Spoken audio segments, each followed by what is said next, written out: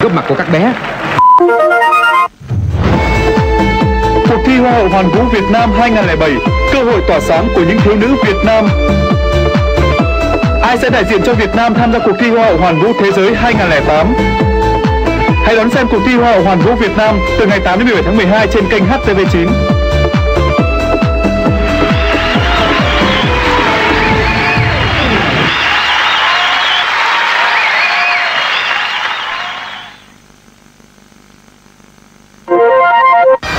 Milo mới với Protomol hân hạnh tài trợ chương trình này. chương trình hôm nay với sự góp mặt của các bé Tăng Nam, Khánh Linh và Ngọc Vi, Hồng Hân, Trung Đức, Khánh Vi, Tùng Anh và Vân Anh. Tất cả các bé có mặt sẵn sàng và người giới thiệu chương trình hôm nay là tôi.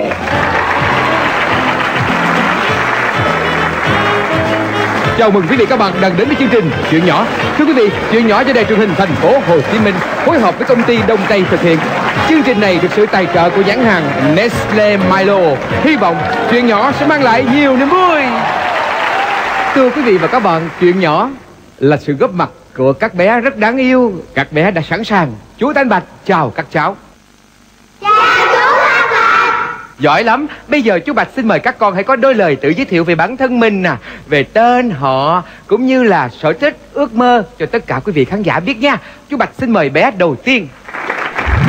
Con tên là Hoàng Văn Nam, năm nay con 7 tuổi. Sở thích của con là coi tivi, ăn hamburger và học võ. Mà ước mơ lớn lên của con sau này là làm cảnh sát để bắt những tên trộm độc ác và giữ gìn hòa bình cho nước. Con tên là Võ Ngọc Vi, năm nay con 8 tuổi. Sở thích của con là thích chơi nhảy dây, thích chơi banh đũa. Ước mơ sau này con lớn lên sẽ được trở thành bác sĩ chữa bệnh cho mọi người. Và đây là bạn của con. Con tên là Đoàn Khánh Linh, năm nay con 8 tuổi. Sở thích của con là ăn kem, vi tính và anh văn. Ước mơ sau này của con làm ca sĩ sẽ hát thật hay cho mọi người cùng nghe. Con tên là Đặng Hồng Hân. Năm nay con 7 tuổi. Sở thích của con là có thể giúp mẹ làm công việc nhà. Nhưng mẹ con nói là thôi, không cần đâu. Mẹ con chỉ muốn con học giỏi mà thôi. Và con cũng rất thích Khúc mà ba mẹ con dẫn con đi chơi. Và coi tivi, rất vui. Ước mơ sau này của con có thể làm là người đàn piano để đàn cho mọi người cùng nghe và có thể qua bên nước ngoài. Đàn, để làm một người nổi tiếng cho mẹ, ba mẹ con vui lòng về con. Con tên là Lê Huỳnh Trung Đức. Năm nay con 8 tuổi. Sở thích của con là được đi chơi với gia đình, Như đi công viên Lê Văn Tám, Công viên 30 tháng 4 Công viên Lê Thị Riêng, Vân vân. Ước mơ sau này của con lớn là sẽ được làm phi công Để bay lượn trên bầu trời xanh là Trường Nguyễn Khánh Vy Năm nay con 8 tuổi. Sở thích của con là nhảy dây Chạy xe đạp, bơi lội và học võ thuật. Mai mốt lớn lên con sẽ làm bác sĩ Để chữa bệnh cho mọi người. Đó là bệnh hắt xì và sổ mũi. Con tên là Nguyễn Lê Tùng Anh. Năm nay con 8 tuổi. Sở thích của con là xem tivi, ăn spaghetti của con sau này là được làm người lái xe lửa để cho mọi người đi chơi. Con tên là Trần Xuân Phương Anh. Năm nay con 8 tuổi.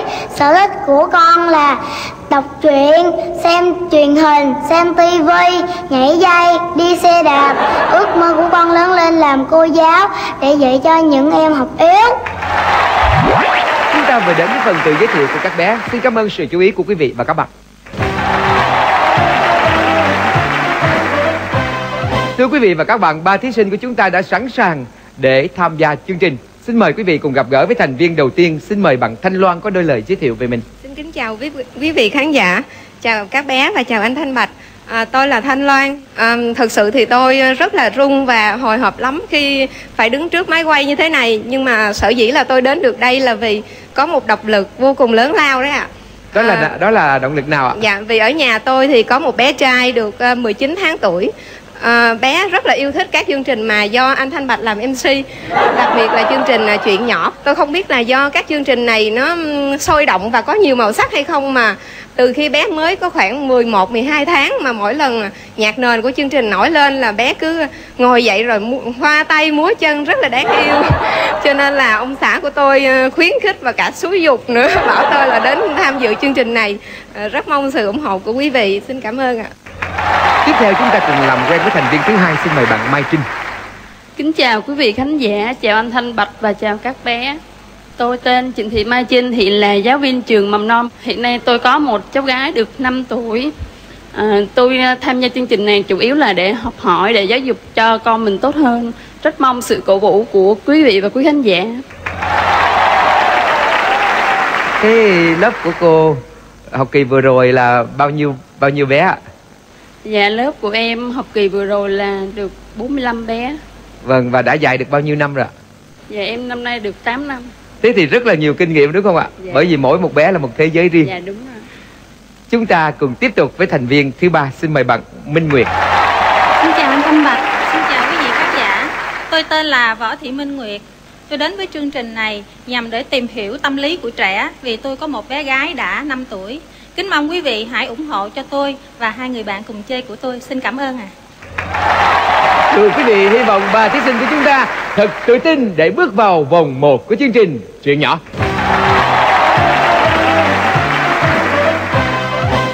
Quý vị các bạn thân mến, trong vòng 1, ba thí sinh sẽ có cơ hội nghe một câu hỏi và đoán xem các bé trên màn hình đa số trả lời là có hay là không. Câu hỏi vòng 1 như sau. Theo các chị, bé có cho rằng khi nấu ăn bằng lò vi ba, thức ăn sẽ mau chín hơn là nấu bằng bếp ga hay không? Đa số các bé sẽ trả lời là có hay là không. Xin mời bạn Thanh Loan. theo tôi đa số các bé sẽ trả lời là có ạ Ý kiến tiếp theo xin mời bạn Mai Trinh. Đa số các bé sẽ trả lời là có. Đa số các bé sẽ trả lời thế nào? Xin mời chị Minh Nguyệt. Theo tôi, các bé sẽ trả lời là không à.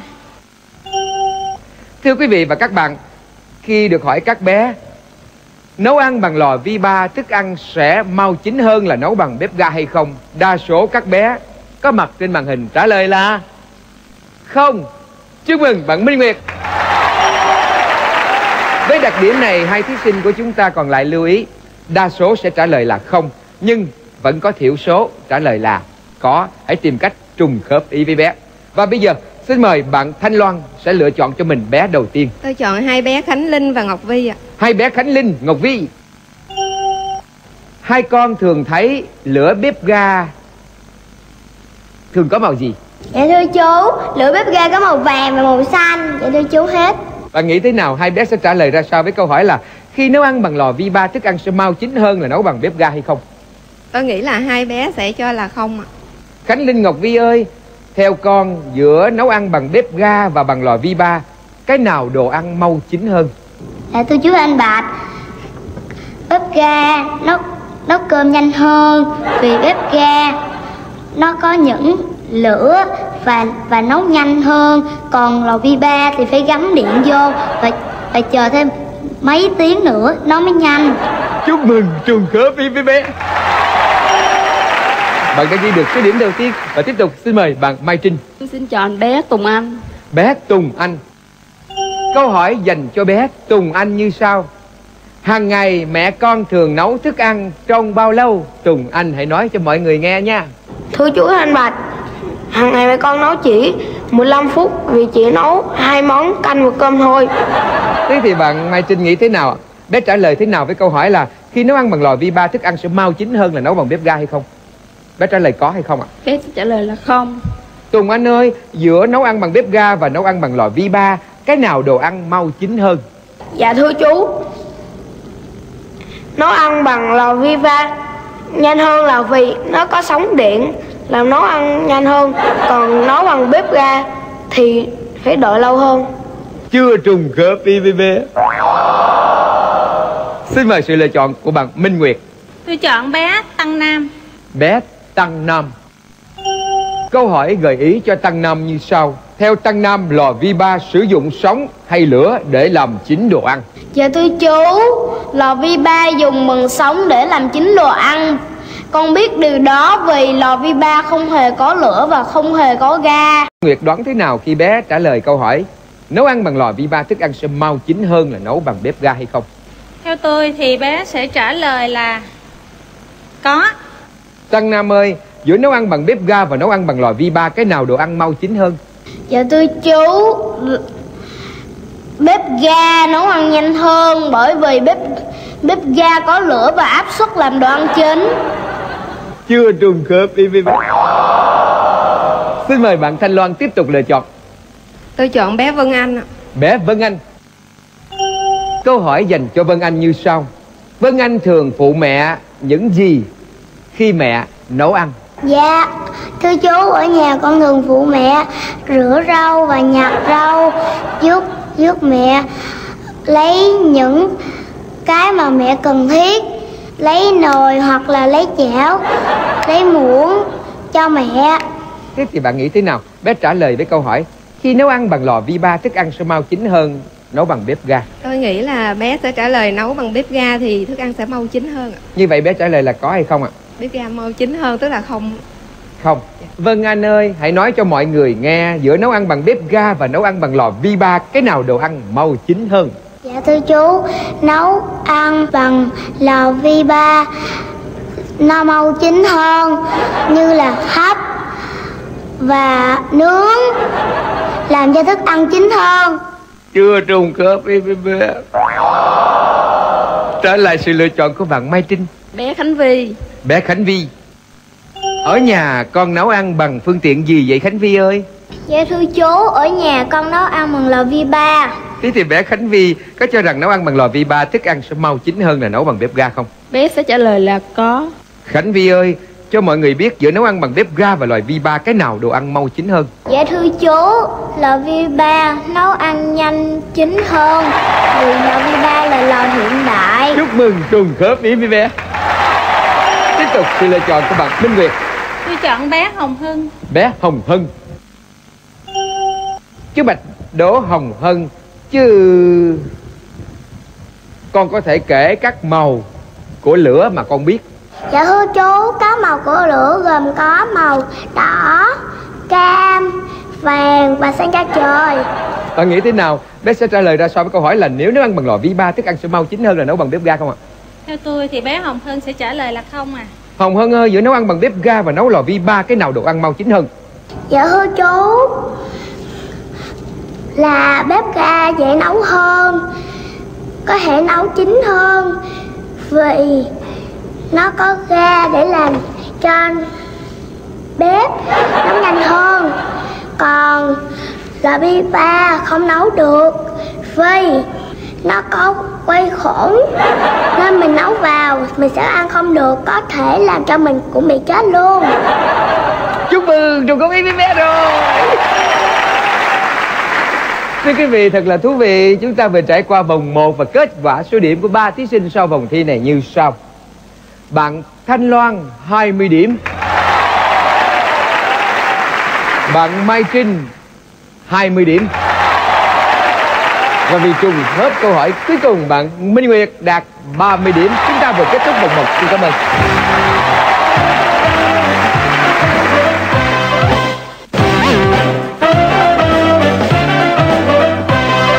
Chào mừng quý vị các bạn đang đến với vòng 2 của chương trình Chuyện nhỏ. Quý vị các bạn thân mến, ba thí sinh của chúng ta lại có cơ hội tiếp tục thử sức mình với các bé trong câu hỏi vòng 2 như sau. Theo anh chị các bé có cho rằng các con tàu hiện đại ngày nay làm bằng kim loại hay không? Đa số các bé sẽ trả lời là có hay là không. Xin mời thí sinh ít điểm hơn một chút đó là bạn Thanh Loan có quyền ưu tiên trả lời trước. Tôi nghĩ là đa số các bé cho là làm bằng kim loại là có. Bạn Mai Trinh nghĩ thế nào? Tôi nghĩ đa số các bé sẽ cho là không. Và bạn Minh Nguyệt nghĩ ra sao? Theo tôi các bé sẽ trả lời là có à. Khi được hỏi các con tàu hiện đại ngày nay làm bằng kim loại hay không, đa số các bé trả lời là có. Chúc mừng. Và bây giờ thì chúng tôi xin được mời bạn Mai Trinh là người lựa chọn bé đầu tiên. Em xin chọn bé Khánh Vi. Bé Khánh Vi. Câu hỏi gợi ý dành cho Khánh Vi như sau. Theo Khánh Vi, người ta thường dùng tàu thuyền để làm gì? Dạ thưa chú, người ta thường dùng tàu thuyền để chở khách du lịch đi chơi qua qua Việt Nam và đi ngắm cảnh ở biển, ở sông. Thế thì bạn nghĩ thế nào với câu hỏi là các con tàu hiện đại ngày nay thường làm bằng kim loại hay không? Bé sẽ trả lời là có hay là không ạ? Bé sẽ trả lời là có. Khánh Vi ơi, hãy nói cho mọi người nghe các con tàu hiện đại ngày nay làm bằng gỗ hay bằng kim loại? Dạ thưa chú, con thấy bây, bây giờ người ta thường là tàu thuyền bằng kim loại vì con thấy trên tivi Chúc mừng trùng khớp Isabel. Tiếp tục bằng Minh Việt lựa chọn Tôi chọn bé Tùng Anh. bé Tùng Anh. Tùng Anh hãy kể tên một con thuyền nổi tiếng mà Tùng Anh biết cho mọi người nghe. Dạ thưa chú, con biết con thuyền nổi tiếng là thuyền Bến Nghé nó nằm ở nó đầu ở sông Bịch Bịch Đằng. Thế thì bạn Minh Nguyệt hãy cho biết với câu hỏi các con tàu hiện đại ngày nay làm bằng kim loại bé có biết hay không? Theo tôi bé trả lời là có à. Có. Chú Bạch xin mời bé Tùng Anh hãy cho mọi người biết tàu hiện đại ngày nay làm bằng gỗ hay bằng kim loại. Dạ thưa chú, con mấy con thuyền hiện đại ngày nay nó làm bằng kim loại. Thì con xem trên tivi Chúc mừng trường hợp ít bé. Tiếp tục xin mời bạn Thanh Loan tiếp tục lựa chọn Tôi chọn bé Trung Đức ạ. bé Trung Đức. Câu hỏi dành cho Trung Đức như sau: Con thường thấy các loại tàu thuyền ở đâu nè? Dạ thưa chú, con thường thấy các loại tàu thuyền ở trên biển Dạ tàu buồm, tàu thủy, tàu cano Vân vân Bạn Thanh Loan nghĩ thế nào với câu hỏi các con tàu hiện đại ngày nay làm bằng kim loại hay không? Tôi nghĩ à, bé sẽ trả lời có ạ. Trung Đức ơi, con hãy cho mọi người biết các con tàu hiện đại ngày nay làm bằng gỗ hay là bằng kim loại? Dạ thưa chú, các con tàu hiện đại ngày nay được làm bằng kim loại bởi vì làm bằng gỗ là thời xưa, thời này là thời hiện đại. Chúc mừng trùng khớp Internet. Tiếp tục xin mời bạn Mai Trinh lựa chọn Em xin chọn bé Tăng Nam. bé Tăng Nam. Câu hỏi dành cho bé Tăng Nam như sau: Theo con gỗ có nổi khi thả vào nước hay không? Dạ thưa chú, khi ta thả vào nước gỗ nổi bởi vì gỗ không hề thấm nước. Các con tàu hiện đại ngày nay làm bằng kim loại hay không? Bé có cho rằng như thế. Bé sẽ trả lời là có. Hiện đại ngày nay làm bằng gỗ hay là bằng kim loại? Dạ thưa chú, các con tàu hiện đại ngày nay làm bằng kim loại. Con biết điều đó bởi vì hồi xưa người ta chỉ làm bằng gỗ nhưng bây giờ người ta đã làm lại bằng kim loại. Chúc mừng trùng khớp Internet. Bạn Minh Nguyệt tiếp tục lựa chọn Tôi chọn hai bé Khánh Linh, Ngọc Vi à. hai bé Khánh Linh Ngọc Vi. Theo hai bé, sắt có nổi khi thả vào nước hay không? Dạ thưa chú Thanh Bạch là có Vì sắt nó ở trên nước nó sẽ nổi Các bé có cho rằng con tàu hiện đại ngày nay làm bằng kim loại hay không? Theo tôi bé sẽ trả lời là có. Hai bé Khánh Linh Ngọc Vi ơi, tàu hiện đại ngày nay người ta làm bằng gỗ hay là bằng kim loại? Dạ thưa chú, các các con tàu ngày nay là làm bằng gỗ vì gỗ nó mới nổi trên nước được. Chưa trùng khớp với BB. Và bây giờ trở lại sự lựa chọn của bạn Thanh Loan. Tôi chọn bé Hồng Hân ạ. Bé Hồng Hân. Hãy kể tên các loại thuyền mà Hồng Hân biết. Dạ thưa chú, câu trả lời này con hoàn toàn không biết vì ở lớp con chưa dạy con. Ở nhà thì mẹ con chưa chỉ con lắm, nhiều điều lắm. Nhưng câu trả lời này con không biết à. Thế bé có cho rằng các con tàu hiện đại ngày nay làm bằng kim loại hay không? Tôi hy vọng là bé sẽ trả lời là không ạ. Hồng Hân ơi, hãy nói cho mọi người nghe.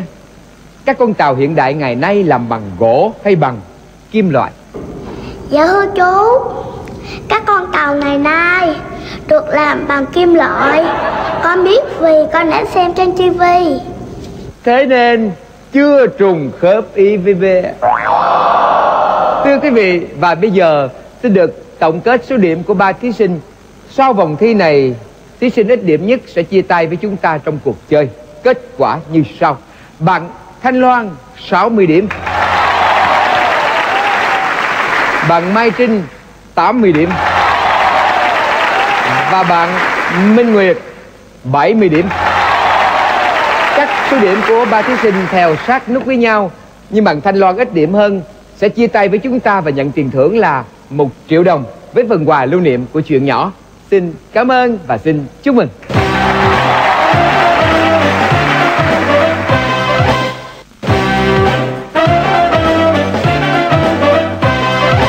Quý vị và các bạn đang trở lại vòng 3 với chương trình Chuyện nhỏ. Thưa quý vị, hai thí sinh của vòng 3 sẽ chọn lựa các bé bằng cách bấm bàn phím. Mỗi thí sinh sẽ có 3 lượt lựa chọn và câu hỏi duy nhất của vòng 3 như sau. Sau khi tập thể dục ừ, có nên uống nước liền để lấy lại sức hay không? Theo các bạn, bé sẽ trả lời như thế nào? Và bây giờ, xin mời bạn Minh Nguyệt sẽ là người chuẩn bị lựa chọn bé trước. Bé Hồng Hân với câu hỏi sau khi tập thể dục có nên uống nước nhiều để lấy lại sức không? Bé sẽ trả lời là có hay là không ạ? Theo tôi bé Hồng Hân sẽ trả lời là không à Hồng Hân ơi, sau khi tập thể dục có nên uống liền nước để là lấy sức lại không? Dạ thưa chú, khi mình tập thể dục xong Mình nên uống nước liền Vì nó có thể làm cho mình mát Và có thể làm cho mình khỏe hẳn lên Chưa trùng khớp im im, im. Xin mời bạn Mai Trinh chuẩn bị Với câu hỏi sau khi tập thể dục có nên uống nước liền để lấy lại sức không? Theo bạn bé trả lời như thế nào? Theo em, bé Khánh Vi sẽ trả lời là có. Khánh Vi ơi, sau khi tập thể dục có nên uống nước liền để lấy lại sức hay không?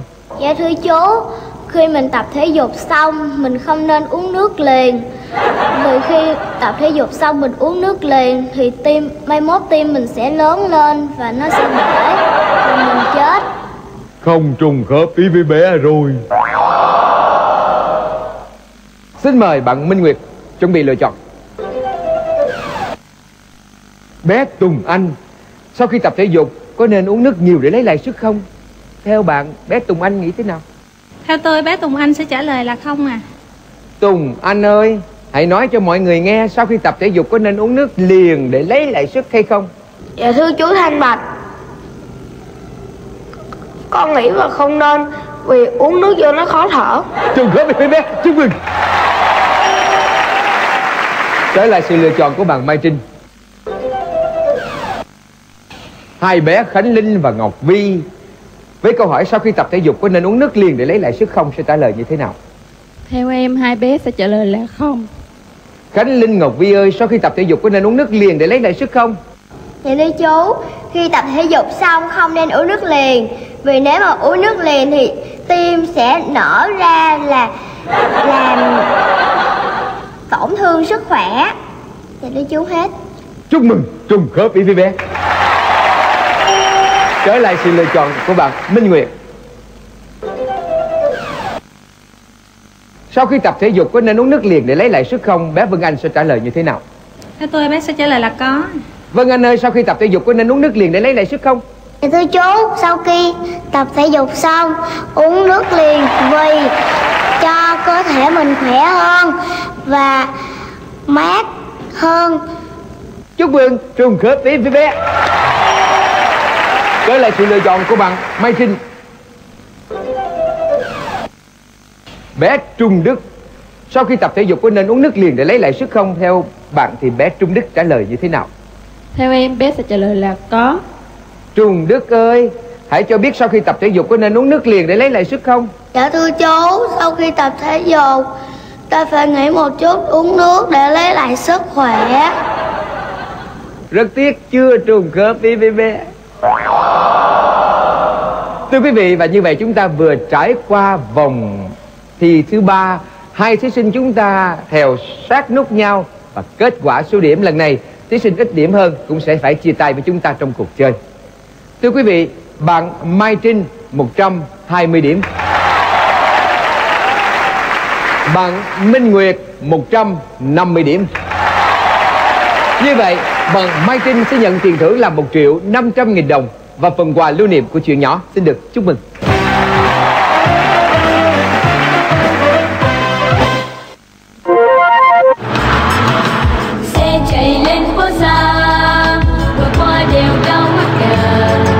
sẽ chia mùa đông giá lạnh bằng những thương yêu chân mình như ấm thêm ấm thêm để cho